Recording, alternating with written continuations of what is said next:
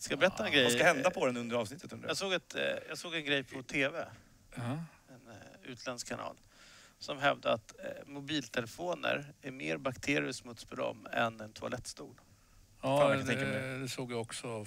Den där känns som att den här kommer varje år. Eller hur? konstaterar det där. Så den här som är 18 år har ju samlat på sig en del nu. Eller så är det Men den är ju så liten också för att tänka på. Ni, ni som har såna här stora grejer, där är det mycket skit på förmodligen.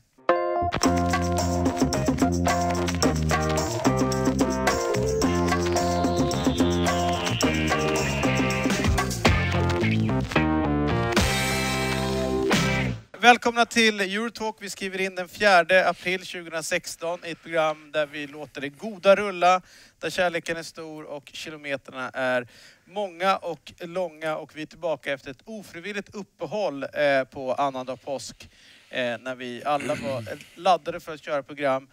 Men Noah valde att dra utomlands, eh, Oskar valde att bli sjuk eh, och jag och Martin och eh, Christian stod startredo och liksom bara skrapade liksom. Sjukt spelbara Ja. var vi ju faktiskt och, och jävligt sugna på. Nu får vi ta en del grejer i det här programmet Ja, istället. som vi skulle då, tagit förra. men, men, Eh. eh, så, så det är superladdat idag, så kan Så man är säga. det ju. Och vi... Eh, eh, nej men du, spelförståelse. Vissa är och, och, och liksom uttagningsbara. Vissa är alltid uttagningsbara för match, andra inte. Och det, handlar, det är ju en konkurrensfördel man har liksom. Eller Du hävdar att vi måste ha den konkurrensfördelen för att få spela? Nej. Jag bara nej, undrade nej, också. nej. Det handlar ju om att man kan aldrig säga, en del säger så här, men vi har många skadade. Så, men spelar ingen roll, liksom, eller att någon borde spela Mm. egentligen om den andra inte varit skadad. Men det handlar ju om att vara, hålla sig frisk, Mm. hålla sig spelbar för att ta en tröja. Men Noah, vi gillar dig. Du har nästan alltid en tröja. Faktiskt. Men eh, vi är väldigt eh, ledsna över att eh, du valde att dra eh, öst, österut. Det verkar som att jag blev skadad på träningen innan i sådana fall. För det var inte mitt Eh, På var- uppvärmningen. uppvärmningen. Ja. Justerad av Erik Hamrén. ja, Han var med. en sidled. Precis, en ekvationen. sån här, han, han, han fläkte upp västen och råkade nita Noah samtidigt. Ja, så kan det vara. Nu blir det lite elakt här Christian. Nej, det var det väl inte. jag väl inte. Okej, Det jag var- tolkade du, det... Du märkte inte att det var lite kärleksfullt? Nej, Nej, det jag ber om var ursäkt. Det var en tolkning som låg... eh, Felet ligger hos mig. Jag har ju, eh, fick ett, en eller härlig eh, feedback igår på programmet. Från, eh, jag var ju och kollade på allsvensk fotboll igår. Och det är en fotbollstränare som har snurrat runt i, i, liksom i höga serier och, och sådär liksom, som sa att han eh, har börjat lyssna på podcasts och han lyssnar på vårt program eh, och han, han gillar det. Eh, eh, feedbacken var ju att han gillar det väldigt mycket men att vi måste bli bättre på att eh, låta varandra tala. Vet så. Men den har vi hört. Eh, och jag skriver under på den. Men det är så roligt, det är väldigt många som eh, liksom får sina första möten med Christian Borell eh, som är nya in i podden. Och eh, citat om dig att du är en härlig karaktär. Har du någonsin Ja. fått höra det förut? Ja, eller hur. Jag, jag, den, mer, eh, den åslundska versionen av det är ju exkluderande. härlig karaktär vill man inte gärna vara. Eh, tror klart jag man inte. vill. Eller kanske man vill vara beroende på vad man menar med härlig karaktär. Att man är en härlig karaktär. Eh, jag, jag tror ju på att, på att inkludera genom att exkludera. Mm. Jag tror på att ställa krav att man inte bara kan hålla på och snacka massa skit helt enkelt. Nej, och Det är- håller vi med om. Det är bra, bra. Du, vårt fredsprogram eh, vinner. Eh, har du, inleder du liksom starkt med? Ja, jag, jag vet inte. Mart, det var ju Martin här. Jag, jag tittar på vad Martin skriver. Och Martin han, och Noah. Han, och Noah såklart. Och Martin var ju iskall här att han, det här var han inne på eller det här hade han... Det visste han. Men Vad var det, Så- vilket... Ja, jag vet inte vad du... Du får ju veta vad Ja, du twittrar okej, om. ja, vi det gjorde en handlade- intressant grej. Det handlade om eh, Tottenham inte, eller? Var det Ja, den? det- Ja, för den gjorde, där spelade du väl över två och ett halvt mål också? Ja, men jag sa att Tottenham, Fredagsprogram är det. Tottenham Men du spelade- jag sa, ja. Jag spelade redan, spelade också för att jag har bättre odds. I vanliga dödliga. Du slätade över ditt fel. Liksom, att du hade gjort rätt analys men spelat fel. Nej, men jag spelade ju inte... Alltså, Okej, whatever. man, alltså där är ju... Nu, nu är det här, vad jag spelade är en sak. Men det valde mellan två spel, det ena var bättre odds. För det andra var det lågt odds. Det här var det jag pratade om. Grejen var att jag pratade om matchen, jag tror inte att Tottenham slår Liverpool. Jag trodde heller inte att eh, Barcelona skulle slå Real Madrid. Eh, visserligen så var jag rätt säker på att eh, Roma och Lazio skulle, Roma skulle vinna och det skulle bli över två, två och ett halvt mål. Men jag hade fel på Leicester. Okej. Okay. Eh, andra ord är den ligan avgjord, på att säga, men det kommer vi inte sen. vi kommer in på det sen. Men vi får bara säga en annan sak, Eh, apropå det vi pratade om tidigare, med att inte prata i mun på varandra. Alltså, det är så extremt svenskt. Mm. Alltså ser du studios i andra länder, då så... över- Jag tycker att det är... eh, Det är klart att när man lyssnar på en podd kan jag förstå om det blir lite jobbigt, men tv-studion är folk som väntar på sin tur. Nej, men så här. Jag tycker, jag tycker, jag tycker, vi, jag tycker vi, grader. ja, exakt. Mm. Jag tycker att eh, vi som alltid, som, som Christian eh, påpekar nu med sitt free flow, det är ju att det finns grader i helvetet. Såklart. Det behöver inte vara svart eller vitt. Nej. Man behöver inte alltid avbryta varandra, man behöver inte alltid vänta på sin tur. Utan vi, vi jobbar med spelförståelse här. Eller hur. Christian? Ja, det är inte svårare än så faktiskt. Och sen, sen eh, podd är en sak, titta något annat. Mm, Och, jag ska kom, och, och fredagsprogrammet är det. Eh, jag är ju inne i, i krig och fred och sånt där så att jag ser ju fred istället för fredag. Eh, Fanzine.nu kan man gå in. Det händer ju grejer hela tiden. Uppdateras något djävulskt. Det är en bra takt. Det, det är ju vår kroat som sitter där och, och rattar lite grann. Eh, Ja, det är en föredömlig... eh, Det känns som att han har fått in allt där Mm. faktiskt. Det, det är så jävla mycket knappar och grejer där så att det är helt otroligt. Men vi har ju vi har konstaterat ganska tidigt, eller tidigt, för länge sedan i det här programmet att, att kanske den mest inflytelserika personen, om man nu ska bara lyfta fram en, inom världsfotbollen, sett till en spelarkarriär, sett till en tränarkarriär och sett till en eh, typ någon form av ja, men övermänsklig, Råd- eh, rådgivare. rådgivande karaktär. Så, så är det den som har satt störst avtryck inom världsfotbollen, är Johan Cruyff Mm. som nu gick bort. Och innan vi går in och pratar på honom så är det ju, jag är lite pressad över det här med i vilken matchminut man väljer att hylla någon. Ivan Torina hyllas i matchminut 27. Det innebär att när man går in till, alltså där det står 26 på klockan, det är ju då de facto den 27 minuten som börjar, så då hyllas ju han. Eh, Men jag noterade att när Barcelona hyllade honom så var det ju när det blev matchminut 14 på klockan, alltså de facto man går in på den 15 matchminuten. Det är ju ett missförstånd skulle jag säga. Mm. Eh, Ja, jag håller med. Men där håller inte jag med, för jag tycker att det är stilistiskt snyggare att se siffran 14 när man hyllar. Precis som jag tycker Ivan Torina, att man ser siffran 27. För det där är ju väldigt, jag, jag säger inte att någon gör fel, jag bara Mm. konstaterar att, de, att man jobbar lite olika. Sen kan det ju också vara mäktigt att man kör en hyllning i, i en minut och sen kommer pang, kommer 14 upp och så blir det liksom mäktigt så. Eh, Eller så börjar man med 14. Mm. Det är bara en liten reflektion jag har eh, från veckan som har varit. Men jag kan hålla med om att det är fel rent, eh, för det är faktiskt i 28 minuten eh, som Ivan Torina, eller 15 i det här fallet, Mm. som, som man hyllar då. Men jag tänker mer på att man vill se siffran för att koppla den. Alltså jag tycker det känns fel när man ser siffran 13. Jag tycker det är liksom. bättre att applådera sig igenom den 14 minuten. Hela 14 minuten. Alltså det som är 13. Ja, du, blir- den 14 minuten. Ja, bra, bra. Den rätt.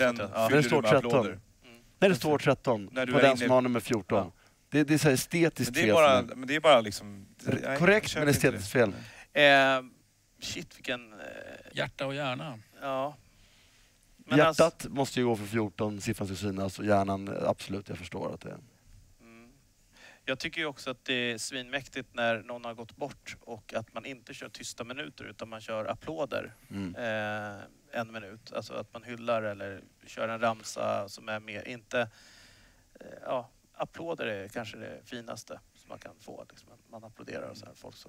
Men skitsamma. Eh, det det var, kom inte som någon överraskning att han skulle eh, gå bort. Vi fick ju rapporter tidigt om lungcancer och vi vet också hans historia av att trycka i sig eh, En annan cigg. en och annan cigarett varje dag. Eh, men det är ju ändå någonting som händer när, när, man, får liksom, när man får beskedet eh, kring att någon går bort. Är han de facto den mest inflytelserika personen i fotbollens historia? Kan man slå fast det? Ja. Det, det, det kan man göra och eh, det betyder inte att han är den främste tränaren eller att han är den främste spelaren. Däremot så skulle jag vilja argumentera för att han då är, är eh, förmodligen den mest alltså så säga, framgångsrika rådgivaren genom alla tider. Och så slår man ihop de tre. Det behöver man ju inte göra men jag tycker att det kan vara, kan vara intressant att göra det. Då tycker jag att han huruvida han står i en särklass, det kan man alltid vända och vrida på. Men om, om vi tillåter oss att kalla någonting för modern tid så är det väl ganska uppenbart att han i modern tid då är, står i särklass. Eh, tycker jag. Om man, om man, framförallt eh, hans rådgivning tycker jag är exceptionell där han någonstans visar att han de grejerna han inte kunde, det var inte mycket han inte kunde på en fotbollsplan och det var inte mycket kanske som han, som han inte kunde som tränare men de grejerna visade han ändå som rådgivare att han tog till sig de små säga, minustecken som ändå fanns där. Så att från att inte ha vunnit vissa grejer som spelare från att inte ha, ha vunnit vissa grejer som tränare så som rådgivare så, så sopar han ju rent. Liksom. Och han sopar rent under lång tid också, märk väl. Sen är det väl också in, intressant nu eh, när vi pratade om något program tidigare om eh, adepterna till Sir Alex Ferguson, hur de inte liksom... Vi vet ju inte eh, svaret helt och hållet med tanke på Giggs kanske har en karriär framför sig. Men att inte de lyfter som ledare och tränare medan om man ser de som Cruyff in och petar på. Exakt. De lyfter Extremt verkligen- viktigt att poängtera. Det visar bara på vilken stor tränare. Och, men inte bara tycker jag de som har plockat upp ledare hans, liksom. liksom, taktiska tankegods man ska säga utan även hur det har skapat en motpol också lite grann. Om man tittar på det som har, den här säsongen har skrivits mycket om Mourinho, van Gaal, Guardiola, hela det, liksom, det är en grupp tränare i Europa idag som alla på något sätt förhåller sig till Barcelona och till den fotbollen som Cruyff någonstans instiftade, eller la grunden för, de tankarna han la grunden med, med hjälp av där då. Så tycker jag det är intressant att se en tränare som, ska man liksom då sålla sig till vissa lägen eller bedöma en tränare som Mourinho så har ju han gjort väldigt mycket av sin tränarskola går ut på att hitta sätt att, att strypa den typen av fotboll som Cruyff förespråkar någonstans. Och när han pratar om det så pratar han om spillrorna av Cruyff och den syns liksom i, i den europeiska tränarskolan lite överallt fortfarande. Så på det sättet så, som du är inne på, inte bara med tanke på hans faktiska tränargärning själv utan även vad den har lämnat efter sig i termer av hur liksom, tränare tänker och, och tycker om fotboll. Mm. Och jag skulle förresten en parentes där. Det var en sak som jag reagerade på. Jag var i studion kanske sa det under matchen. Att, att, de, eh, att det var ett köpt tifo för att, att klubben har finansierat det. Eh, och instinktivt har jag ju alltid tyckt att det får de inte göra. Så började jag tänka, varför får inte klubben göra det egentligen? Spelar det någon roll hur ett tifo finansieras? Det kan väl spela en ganska stor Om, roll det är kan en, jag tycka. om Coca-Cola gör det, ja då förstår jag det. Men om klubben finansierar, är det skillnad mot när vi stoppar pengar i tifolådan? Ja, jag det är tycker- jag en tycker det- jag tycker- väsensskillnad. Ja. skulle Men jag tycker det är en stor skillnad någonstans. eh, Är eh, att i ett sånt här läge när en av klubbens stora eh, genom Så tiderna är det ju också har gått bort så tycker jag det är fint att klubben kliver in och på något sätt markerar att det här är vår hyllning till en, en utav våra. Jag tycker någonstans också att det för mig så är supporterlivet in, och klubben egentligen inte alltid samma sak. Ibland så är det det, men det, eh, eh, liksom, det kan hetsas, det kan vara på ett annat sätt. Man står liksom mer fri att uttrycka sig på, på ett sätt om, man, om det liksom inte är liksom en klubb som, som liksom säger att nu ska vi göra det. Det, det känns mer äkta om det kommer supportrar Men- som överraskar också spelare, klubb och liksom visar sin kärlek på det sättet.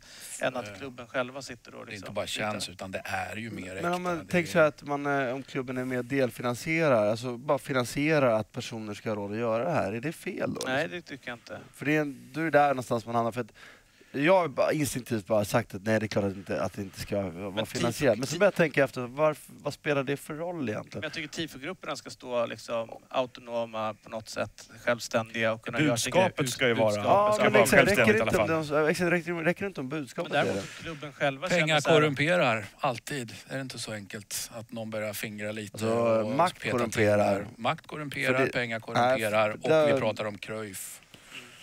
Men det där vill jag bara för att makt korrumperar. Pengar köper makt, så därför korrumperar pengar. Men eh, makt är det. Semantik. Ja, absolut. Eh, Men eh, och, det jag skulle säga om just om hans tränargärning, ja, David, du överraskar ibland. ibland kommer Sigtuna godssonen. Nej, arvet fram tydligare. Nej, men bara vad jag skulle säga om hans tränargärning som vi pratade lite om. Eller, om man vill generalisera lite, och då gjorde jämförelse lite med gigs och grejer. Är ju att för mig, eh, och det är inte så betyder inte att det kommer vara så, men för mig blir det en indikation på att Cruyff vill ha tänkande spelare. Eh, Ferguson ville ha dumhuvuden som var robotar som gjorde honom tillsagda. De som reste sig och ville tänka något annat, de åkte ut. Han ville bara ha de som han kunde skälla på, skruva upp ryggen, nu går ni dit och kör. Lite mer generaliserar. är det inte lite det man landar i? Att det är det som är, Cruyff har liksom låtit folk ta plats och tänka på något sätt tydligen då. För att arvet blir att därutav kommer sportchefer, tränare, spelare och stora. Jag tycker eh, det är svårt att ja, formulera någonting som kanske är helt genomtänkt när det kommer så. Men min bild är väl att till stora delar utav ett Sir Alex tränat lag så var det just det du säger. Det var ju folk som körde och liksom ja, vet, gjorde det de blev tillsagda. Men att också att han hade några i laget som var liksom de som skulle tänka till och göra, göra alltså stå för det.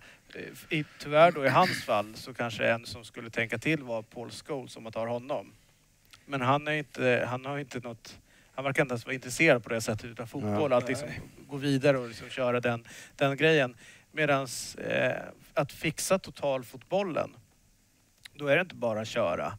Utan att du måste kunna vara på alla platser, kunna läsa spelet och förstå det. Och då tror jag liksom i den träningen och i den miljön så skapas det en större förståelse för spelet i stort än, än rollen Ja, i sig. exakt. För Fergusons kultur som han etablerade någonstans med Manchester United, den är inte lika mycket av en skola som Cruyffs är tycker jag. Nej. Det finns ju liksom ingen, vad ska man säga, eh, ingen lärobok att ta av där på något sätt. Utan det verkar ju vara väldigt personförankrat i honom någonstans. Och vad han, vad han ansåg att en klubb skulle fungera och vad som skulle gälla och vilka regler och så vidare. Men, men i Cruyffs fall så verkar det som att han har ju... Jag menar det är ju en, det är ju en sorts...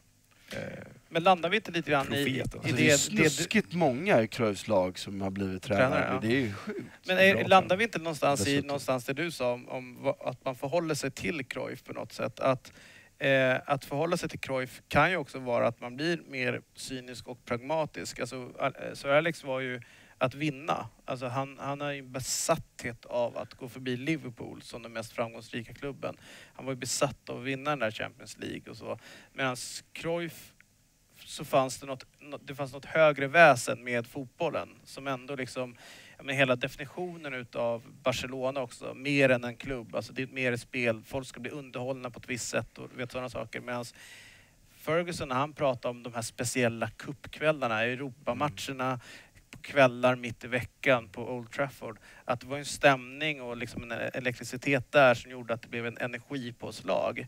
Som gjorde liksom att det fanns liksom inte den så här, att vi ska spela det vackra spelet på samma sätt. Nej, och han, Säga, det, det som Cruyff gjorde var ju det, han vässade ju egna, sin, e, den egna skolan eller den egna, det lägret han höll till och tvingar ju någonstans det andra lägret att vässa, vässa mm. sig själva också. Så det blir ju någonstans kan vi land... tycker jag påtagligt. Om man tar, eftersom jag, på ett sätt hamnar jag ju i, så att säga, emot Cruyff då, eftersom Cruyff var extremt skeptisk till italiensk fotboll och jag älskar italiensk fotboll, det vet ni.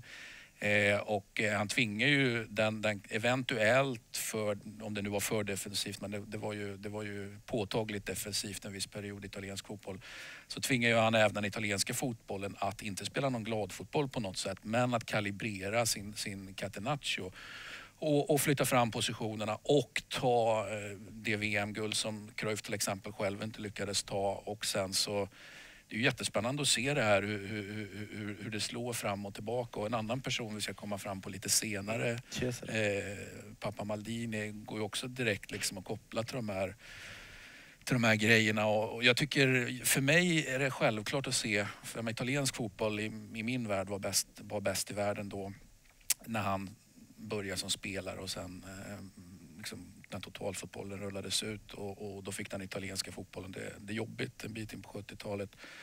Men slog tillbaka väldigt fint och eh, sen eh, vacker växeldragning där jag tror att det är otroligt viktigt för Cruyff och för totalfotbollen och för tiki-takan att Cruyff vann den första Europacupen, att han vann mot Sampdoria som ju förvisso är ett italienskt lag men det är inte ett av de stora italienska. Det är inte ett av, ja, inte ett av de tre stora för det är egentligen bara tre som räknas där. Utan att när han går upp mot dem sen, eh, Milan, så torskar han. Hade han vunnit en Europacup-titel till där, det var en Champions League-titel i och för sig 94, då tror jag att han, han kanske hade analyserat situationen lite annorlunda. Jag tror att det faktum att han förlorade den, det vill säga han hade 1-1 mot Italien i, i finaler i sin tränargärning, det tror jag att det gav honom ingen ro för han blev också förnedrad med 0-4 mot Capello och det var ett reservbetonat Milan dessutom som han fick stryk av. Eh, så jag är helt övertygad om att han, eh, jag, brukar prata om det där att han skickar in Guardiola i italienska fotbollen som någon slags trojansk häst. Liksom man bara trycker in honom där för att han fattar någonstans och Guardiola fattar också att han måste suga åt sig om man ska kunna nita då eh, om den engelska fotbollen, eller förlåt mig, den italienska fotbollen är hans främsta fiende och främsta ideologiska fiende så finns det saker och ting där inne som han måste suga ut som han inte riktigt faktiskt, trots att han var en stor tränare och en stor fotbollsspelare, så hade inte han fattat. Han, han förstod att han behövde ha den pusselbiten. Så in med Guardiola där. Guardiola, det vill säga han är ju någonstans den, den, den utvalde, det är ju så man måste se på det hela. Så in med Guardiola där, slutet på hans karriär absolut, men det handlar inte så mycket om det utan han var ändå så pass intelligent så han skulle plocka den där pusselbiten för att sen kunna eh, dekonstruera italiensk fotboll. Eh, jag är helt övertygad om att de resonerar i de termerna. Får man, eh, innan vi går vidare på nästa eh, stora personlighet eh, som har gått bort, skulle man kunna säga att de två största för den respektive skolan eh, är då, och inte sagt att någon är bättre eller sämre, men att Cruyff å ena sidan med, med om man säger det, det filosofiska och liksom det tänkande och få fram de typerna av spelarna och liksom den, den antipodden då liksom för, eller är Sir Alex och han är den mest framgångsrika på det. Skulle man kunna... Jag tycker inte det. så. Jag tycker att det finns andra tränare då som mer eh, respekterar... Nu pratar vi ju då om det här med, med, med, med Catenaccio som motsvarighet. Nej, alltså mer det cyniska, att vin, inte, inte defensiva utan mer det här med som du sa med maskiner eller att liksom verkligen så här, du, jag, mm, jag skulle liksom luta mer åt en Sacchi-typ ja, som eh, motsvarighet. Men kan man säga, jag kan man att kan man tre- säga få ett tredje läge med Ferguson. Exakt, liksom. va? du har en super, italiensk supertaktik i ett läger, Cruyff och totalfotboll i ett annat läger. Och sen skulle jag vilja slå ett slag för det här med att du faktiskt kan få ett slag på käften, det vill säga lite grann så som jag ser på de, de bästa engelska, det vill säga Sir Alex, jag räknar dit George Graham såklart. Det vill säga att du i något läge faktiskt, du åker in i väggen. Han kommer nita dig, han kommer att slänga sko om det är Beckham, om det är någon annan. Du riskerar faktiskt att få en stor fet smäll. Eh, det vill säga hotet om fysisk vedergällning. Ja, det, det är för mig väldigt engelskt. Men det, en annan sak som är, skiljer till exempel Cruyff från Sir Alex då tycker jag är snarare det som du är inne på att eh, det egennyttiga i Sir Alex tränargärning någonstans. Det som handlar om vad han skulle uppnå, hur han ville framstå historiskt och det som vi varit inne på här tidigare med våra teorier om hur han lämnade Manchester United, i vilket skick, vem han utsåg till sin efterträdare, vad det skulle göra för hans plats i historien och allt det här. Ta då det altruistiska, eller vad man ska kalla det för, i Cruyff liksom, som är någonstans inte så beroende av att han är den som uträttar alltihop utan snarare mm liksom sätta spelreglerna för så här och så här ska det funka och ni får förhålla er till det. Där tycker jag man har, det finns en väsentlig skillnad i de två som är där de står på varsin sida av ett läger. Så Alex var där för att den bli en parentes i historien som ingen skulle kunna överträffa. Cruyff var där för att han skulle någonstans sjösätta någonting som Det är för sant. alltid. tycker jag var en bra sammanfattning. Eh, Bara innan vi lämnar, tror du att eh, Cruyff eh, skrev under, eller skriver under, eller skrev blir det, för han har ju gått bort, eh, på, på det sättet som Enrique har eh, förändrat Barsas sätt att spela? Eh, Tror jag Det absolut. tror jag absolut. För jag, jag uppfattar det av den enkla anledningen så tror jag att han känner igen sig mer i det än i Guardiolas spel. Även om han är ju instrumentell i att, att se till att Guardiola faktiskt spelar så som Guardiola gör. Och han skickar honom on a mission, det vill säga en tiki-taka mission. Då menar jag inte till Italien utan att en mission med en stor fotbollshjärna som fortfarande håller på och kalibrerar.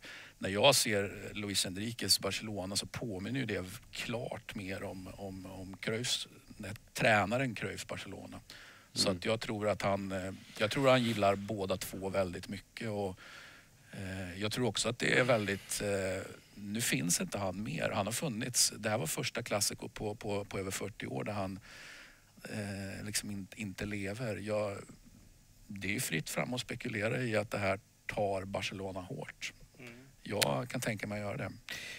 tragiska saker eh, eh, med att folk går bort. Eh, inte lika tragiskt men frustrerande var ju 2010. Jag stod utanför Soccer City som arenan heter i Johannesburg där VM-finalen sedermera skulle spelas. Eh, och eh, står med eh, Paolo Maldini och Cesare Maldini och ropar upp till Stockholm och konstaterar att jag har två eminenta gäster här som skulle kunna tänka sig vara med i vår sändning och prata lite grann om hur VM har varit så här långt eh, och fick till svar att eh, vi har annat att prata om i studion. Eh, eh, det landade någonstans i att det var ju ett oförglömligt ögonblick att stå och prata med pappa och son. eh, på, på det sättet. Och bara som parentes att nästa person som dök upp var eh, Zinedine Zidane. Så det var ju liksom de overkliga 20 minuter jag hade där. Men eh, eh, Cesare Maldini, det lilla jag sprang på honom var ju en, eh, en riktig mister. Liksom, du vet, oerhört artig, eh, väldigt så här, ja men du vet, eh, vad ska man säga, fötterna på jorden, nyfiken och frågar och han har ingen jävla anledning att fråga någonting till en, en hopplös liten reporter liksom, men var ändå nyfiken och, och sen var, man vill lyssna på honom på något sätt som var också för att hans, han har ändå skapat Paolo som var hur mäktig som helst. Eh, men eh, Cesare Maldini är ju stor i Italien på ett sätt som jag tror inte att alla riktigt förstår. Nej, men det landar ju lite grann i det som du säger att i, i hyfsat modern tid så ser vi honom att, eh, som, som vi förstår att han har spelat fotboll, vi förstår att han har tränat fotboll men han är framförallt pappa till, till Paolo Maldini. Eh, då ska man ju faktiskt komma ihåg att han har varit, eh, han har varit lagkapten i Milan, han har varit lagkapten i ett Milan som vann Europacupen som första italienska lag efter spansk och, och portugisisk eh, så att säga, dominans där i början. Eh, sen så har han en ganska intressant, tycker jag, det finns saker att reflektera över. Inte för att ta ner hans spelargärning eller ta ner hans tränargärning utan bara sätta den i perspektiv. Så är det bara att konstatera att han var ju, är du med, är du lagkapten i Milan och vinner de här titlarna och du vinner också x antal ligatitlar under, under en period, lång period som han var i Milan. Eh, så var det ändå inte han som var första valet i landslaget och inte andra och, och kanske inte tredje valet heller. Han hade någonting drällde lite för mycket med boll, var lite, jag ska inte säga arrogant för att han är så långt ifrån, rent personlig, personlighetsmässigt är han så långt ifrån arrogans man kan komma. Men lite arrogant och oförsiktig på fotbollsplanen som gjorde att han inte, liksom, han var stor och en av de största men inte en av de riktigt, riktigt eh, största där. Och lite grann samma blir det ju med hans tränarkarriär där han eh, så att säga, snurra neråt och det är ju inget fel i att snurra neråt men sen när han skulle snurra uppåt igen så blev det ju inte riktigt så utan han, han gick ju in och blev eh, framförallt kan man ju säga att han är känd som assisterande till Enzo Biarsot. Eh, 82 guldet då för Italien och sen så slutar han med det 86 och sen så gör han lite annat, det vill säga tillbaka till Milan, kör, kör chefscout och sådana saker. Och sen så blir det ju U21 då mellan 86 och 96 där han ju är extremt framgångsrik och tar tre raka EM-titlar för, för, för Italien. Låt vara med, med gyllene generationer, absolut. Det var ju den ena gyllene, generationen efter den andra. Men med det sagt så var inte alla tre generationerna Handlar lika bra. också om Han vann. spelförståelse när man plockar Han vann ju Ja. liksom med allt. Då. Och sen så fick han ju då ta... Eh, han, och, han och Sacchi bytte ju, eller de bytte ju inte men, men Sacchi gick ju tillbaka till Milan kan man säga. Och, och, och eh, pappa, pappa Maldini tog, tog A-landslaget. och där, blev han 98. inte, och där blev han inte så framgångsrik som... Nej, han hade ju lite, och, och det var ju rätt häftigt att se, precis på det vi pratade om tidigare, vilken fotboll man förespråkar och, och, och spelar och så vidare. Då hade vi haft ett tydligt, eh, man har liksom gått ifrån mer defensiv fotboll till Sacchi och då menar jag italienska A-landslaget och, och Sackis fotboll då skulle ju vara offensiv och någonting helt annat. Eh, det kan man ju fundera på om det fungerade. Det blev ju, det blev ju VM-final förvisso va? men, men eh, folk var ju inte riktigt nöjda under, under Sackes period som förbundskapten för det, det, det fungerade aldrig riktigt bra. Eh, och det som hände sen var ju att det blev en tillbakagång då. Det blev ju egentligen, om man nu ska hårdra det så kan man säga att det blev en tillbakagång till Catenaccio med pappa Maldini. Så även om pappa Maldini som spelare då spelade i ett, i ett alltid hyfsat liksom glatt spelande Milan så var han ändå en, det här är en Catenaccio-snubbe rakt av. Mm. Eh, det som landade igår eh, klockan åtta på kvällen var ju eh, eh, en Panama eh, historia som läckte ut att eh, det är ju då eh, ett eh, mass, massa brevlådeföretag eh, som har skyddats utav en advokatbyrå eh, och, eh, som sitter nere på Panama helt enkelt och eh, där då kändisar eh, och politiker och fotbollsspelare har gjort sitt yttersta för att, eh, ja, Fast nu pratar vi ju fotboll. Mm. Jag vill Eh, bara liksom säga här att nej. folk får för sig att det bara fotbollsspelare. nej, nej. Skydda sina tillgångar. Eh, och eh, det är ju klart då att det är lite kittlande när Leo Messis namn dyker upp i det hela. Eh, Och jag tror att vi kan granska oss igenom det här. Så att det kommer sitta lite härliga Fifa-människor också. Det vet vi att det gör. Det borde det göra. som har varit där och hållit undan.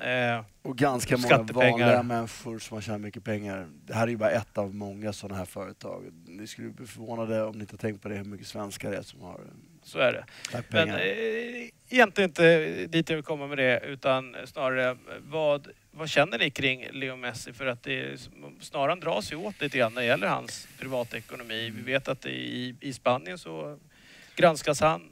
Det här Det- dyker upp och så här. Och då undrar man ju varför måste människan som tjänar så oerhört mycket pengar göra så oerhört mycket för att absolut inte betala? Det är? Det är det är ju så här, det, det här är, man, man, man är aldrig fri. Han är såklart ansvarig, ytterst ansvarig för sin egen, eh, sin eget namn i sådana här sammanhang. Men han har i sin tur anställt rådgivare. De här rådgivarna, och det är pappan är en av dem och så, som har gått till några, eh, massa exempel på sådana här. De, för att de ska göra värde sina pengar så gör de lösningar och det här är Ska jag väl komma ihåg när vi pratar om Sverige till exempel, så jag är inte säker på att det, det är inte olagligt, det är Nej. omoraliskt bara. Det som, är, det som jag förstår det som med de här, att det här lösningen som ligger bakom de här sakerna som är kontroversiellt i det här, det är ju inte själva konstruktionen i sig utan det är att det alldeles för ofta används till pengatvätt eller andra saker som då är nära kopplat till kriminalitet. Så det- och då måste man ju någonstans granska varje fall för sig och det är möjligt att Messi och hans pappa inte har gjort det. Men det är klart att själva associationen någonstans för ju med sig ett Ja. antal misstankar som inte är särskilt prydsamma och det konstiga med sig som du säger är att jag menar någonstans från de, för att de första sakerna uppdagades här när han första gången hamnade i trångmål eller såna här saker så borde man ju kan man ju tänka sig att han eller hans pappa nu, om de nu vill rentvå sig på något sätt, gör en översyn av saker och ting runt omkring sig. Till så att det inte finns fler såna här saker som kan komma Det fram. här är nog gammalt också. Det här var ju från, fram till... 2009 tror jag. Ja, exakt. Så det, Eh. det, det är ju innan skattedomen fälldes i Spanien. Men, Men, men dokumenten sträcker sig efter 2009 också, Mm. även om det är liksom någon brytpunkt där. det är också en eh. känslig grej ska du veta, när man har suttit i de här grejerna eh, och så ska du ta hem det sen. Så kan du inte göra det. I Sverige har vi en regel sedan år tillbaka där man får eh, Amnesti väl? Ja, det finns ett namn för det som är jätteenkelt som jag inte kommer ihåg nu. Eh, det, för att annars sitter ju folk kvar de här, för att om du tar hem dem annars har ju, bevisar du ju själv att du har gjort ett skattebrott. Mm. Och det är fängelse på ganska små belopp och sånt i, i Sverige till exempel. Jag kan inte de hur det är i Spanien. Så det är inte så, det, så, det är inte så enkelt som folk vill få, får det att låta när de pratar om sådana här grejer, att man ska komma ur saker. Dessutom förbinder du dig ibland under längre perioder att göra sådana här. Du går inte in i det här, så, så de företag som säljer det här, då måste du ligga fast i ett antal år. Jag tycker den stora poängen är, det är omoraliskt i det här. Inte att det är kopplat Exakt, för ingångspunkten är ju det mycket vill ha mer. Det är ju det Ja. det handlar om någonstans. Ett, ett, eh, Och det är exakt, och det här gäller ju, det är en tragisk grej som jävligt många, mycket människor gör faktiskt. Men hur mycket solkar det här ner? Oftast brukar ju folk lyfta fram att eh, eh, fotbollsspelare ska vara förebilder och, och Mm. role models och alltihopa. Hur mycket solkar det här ner Leo Messi? Men jäm, jämför med Cruyff då, är väl, är väl extremt intressant att göra. Cruyff var ju under extremt stora delar av sin karriär känd för hur mycket som helst men bland annat också för att vara hur gniden som helst och, och, och verkligen eh, försöka liksom, trissa upp eh, priser på inte bara sitt eget transfervärde utan ta betalt ifrån Eh, för vissa intervjuer och, och, och så vidare och så vidare. Eh, det pratar vi inte alls om nu och det pratar vi inte, och det är inte bara för att han rå, råkar ha dött som vi inte pratar om det utan det är han, någonstans, han har kommit ut på andra sidan och är någonting annat. Eh, så att jag skulle vilja säga att han får Messi får, får, det beror ju på vad han gör framöver, men han får ju nu är ju känslan av att det är klart att det är liksom ingen rök utan eld. Att det här skulle vara superduper clean. Det finns väl ingen som ställer sig upp och säger att det där är, det där är gjort by the book. Nu hör jag till Men- de, de här cyniska människorna då, kanske som bara, jag utgår från att 99,9% av alla de här spelarna i världsfotbollen har lösningar liknande det här redan. Så att för mig är det, alltså, det är jag inte överraskad. Eh, det, det, det är de här agenterna och rådgivarnas roll att göra de här grejerna. Alltså Messi själv, majoriteten av fotbollsspelarna, av de här 99,9 procenten, så är det 98 procent som inte har en aning om vad de har i. De har ingen, alltså det är bara att kolla hur mycket folk som är blåsta i England, när de bara satts upp i grejer, när företagen bara, pengarna är borta sen. Men sen också med Messi, i Messis fall, just du pratar om fotbollsspelare som förebilder och den, hans ikoniska status och sådär. Jag tror att han någonstans blir offer här också PR-mässigt för att han har haft en så otroligt avskalad och endimensionell liksom, Mm kommunikation vid sidan av planen. Ingen vet ju någonting om honom som person fortfarande. Han har liksom, med Cruyff fanns det ju massa personlighetsdrag som kanske i slutändan överskuggar de här snedstegen och så vidare. För, för Messis minne och arv, ja då vet vi inte mycket mer än alla mål, alla siffror, all statistik på honom eh, och vilken fantastisk spelare. Man såg honom bara 90 minuter i veckan.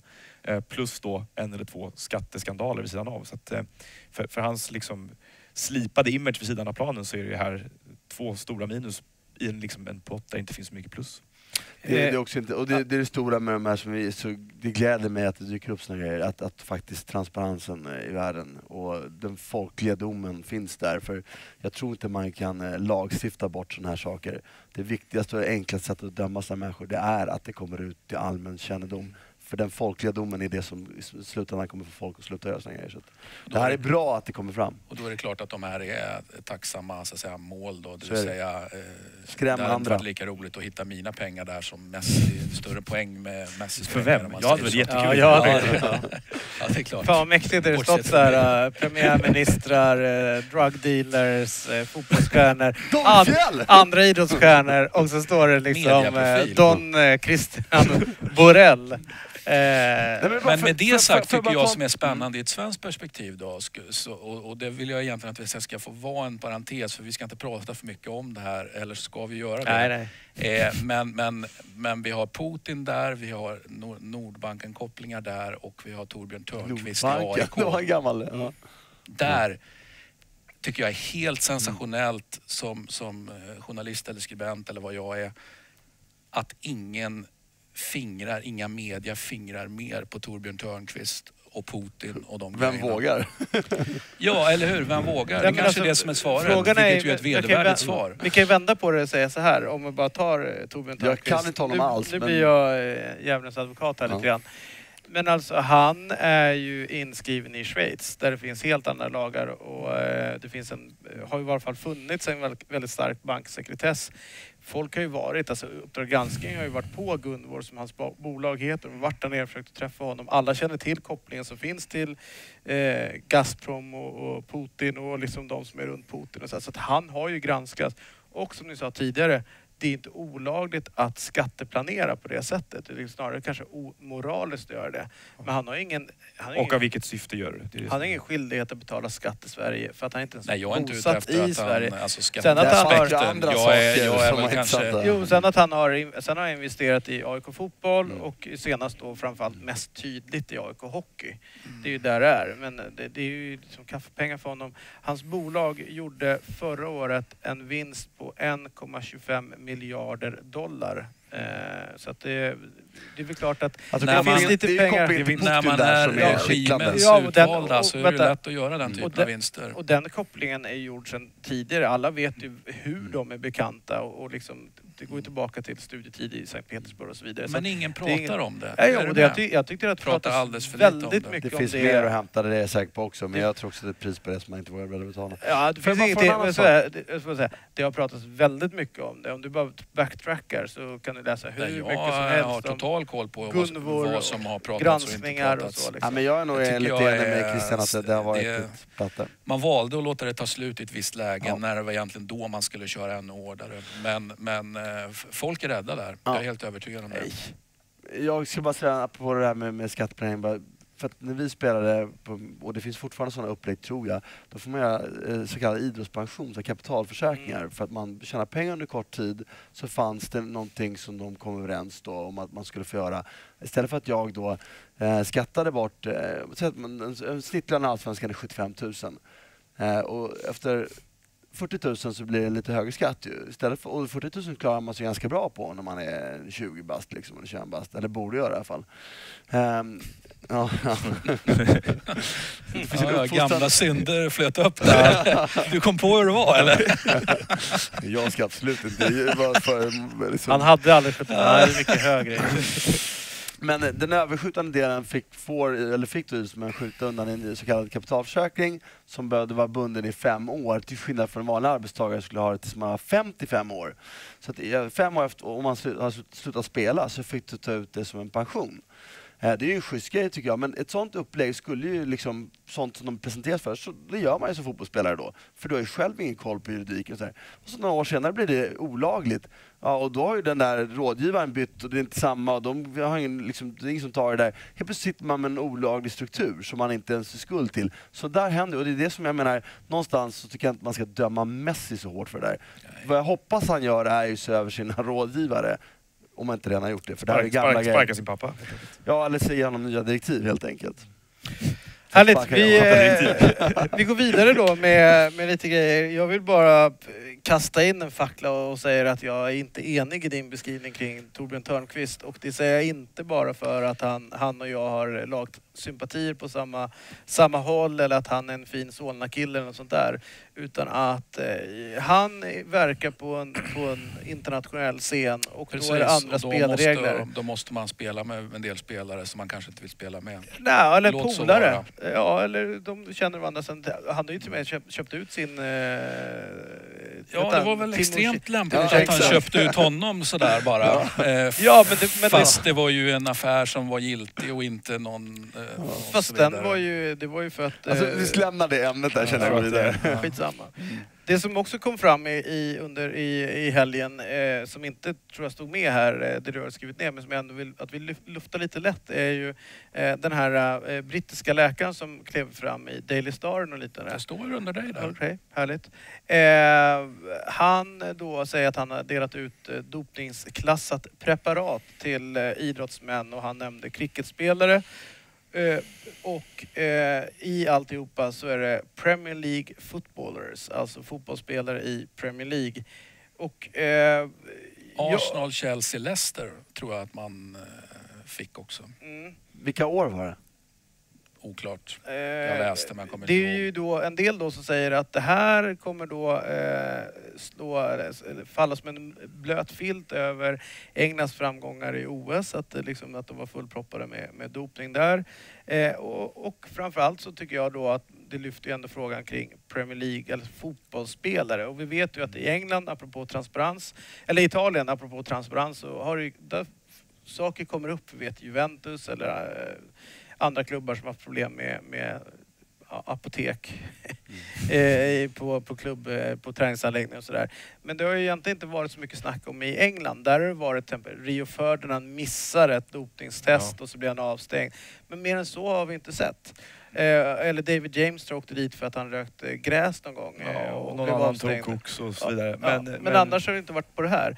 Men är det mer utbrett än vad eh, gängse supporter eller man eller kvinna på Man gatan ju- tror? man kan ju ha misstanken att det pågår ett helt annat arbete för att eh, emellanåt tysta ner dopingfall eller misstänkta dopingfall i Premier League på grund av vikten av Premier Leagues starka varumärke utåt i förhållande till till exempel vad som händer i Italien skulle jag tro.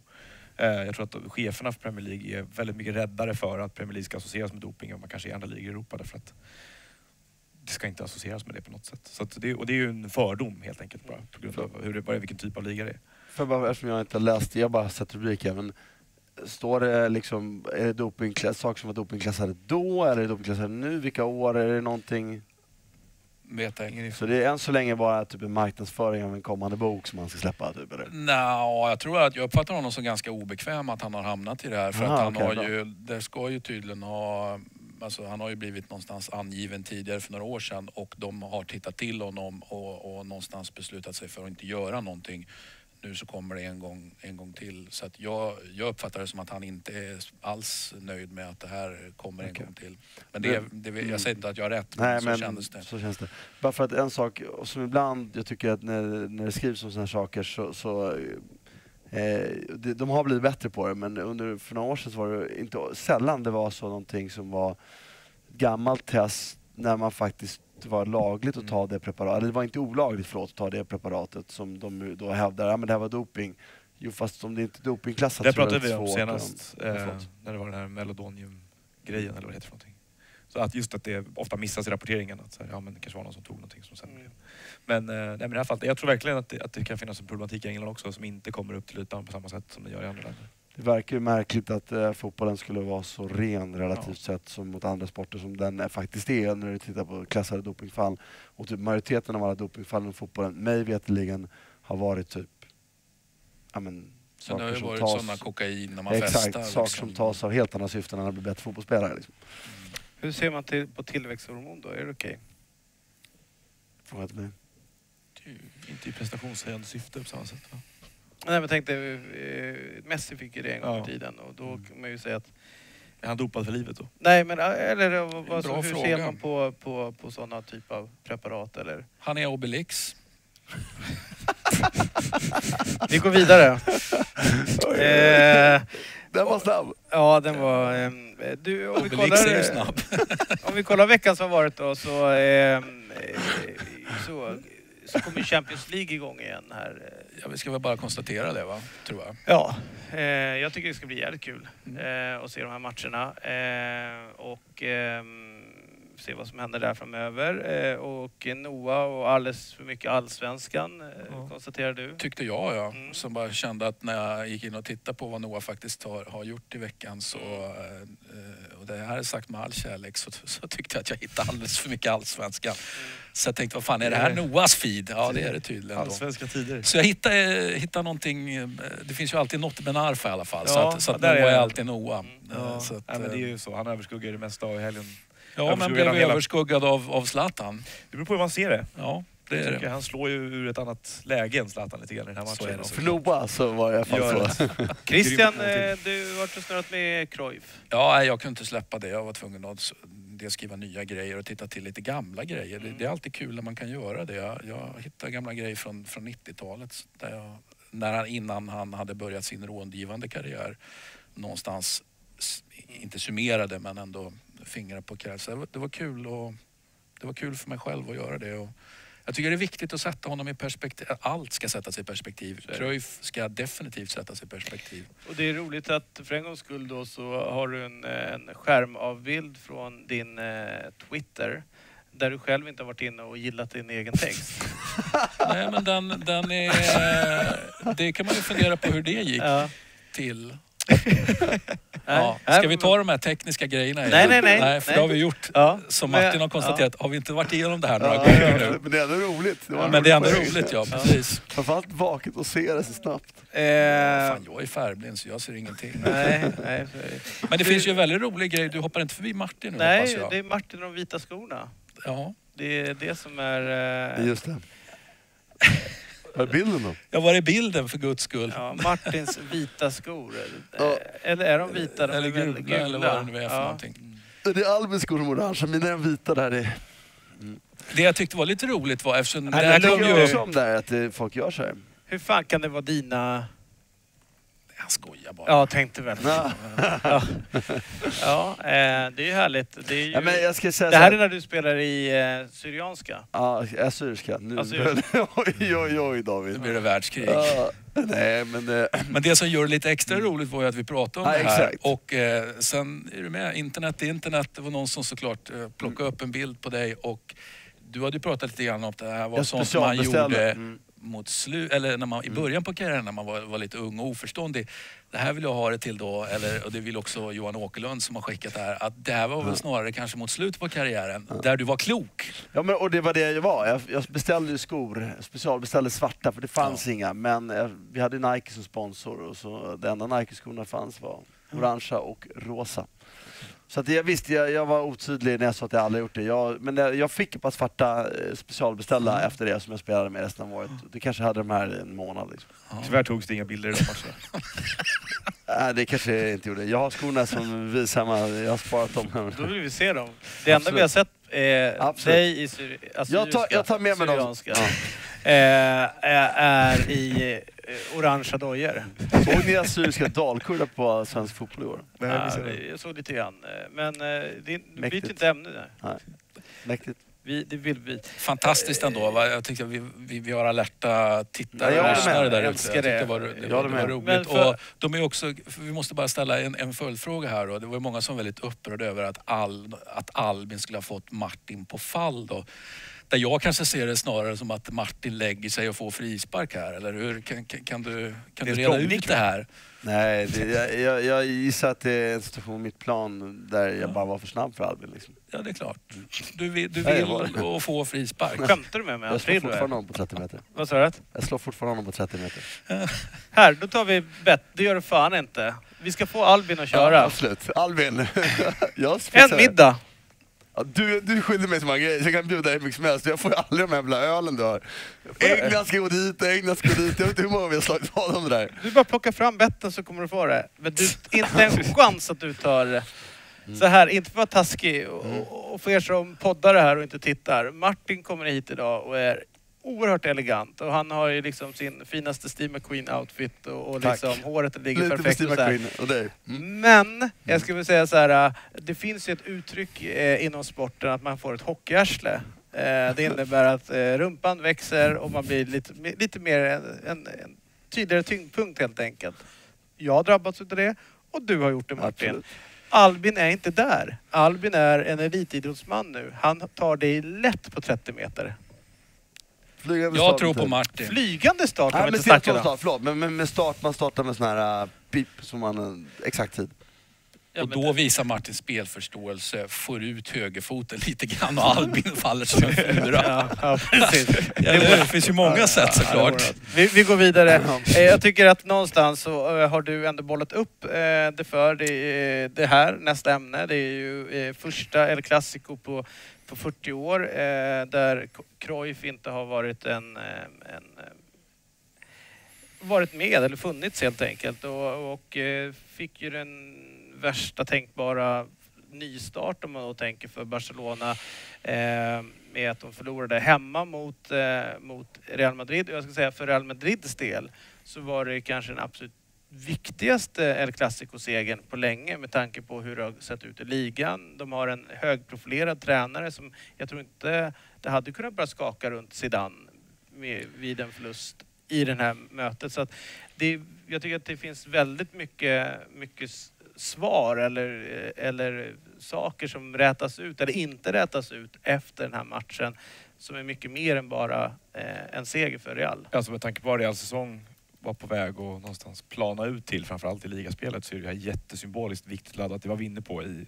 torsdags eller fredags också här. Att för Zidans skull och för att han ska, inte, för att han ska slippa också gå in i hösten med, liksom, om han sitter kvar över sommaren nu här, med så himla mycket liksom, moln över sig. Så att slå Barcelona i den här matchen, det restaurerar kanske en hel del av de, det sargade förtroendet som började dyka upp runt honom. Mm.